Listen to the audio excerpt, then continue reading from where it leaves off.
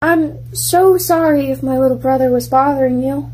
Oh, it's no worries. I sure hope my brother didn't cause you any trouble either. No, not at all. Beep bop skitty bop. My mom's a what?